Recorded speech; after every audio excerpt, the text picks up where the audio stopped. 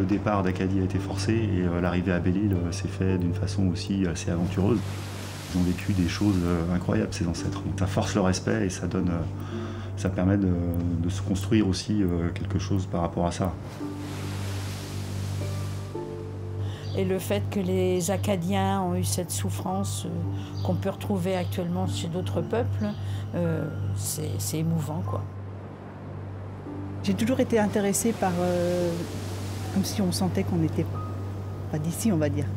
Je sentais qu'il y avait quelque chose ailleurs. Et puis, euh, et depuis que j'ai appris l'histoire acadienne et que je suis acadienne, donc c'est de là que c'est parti.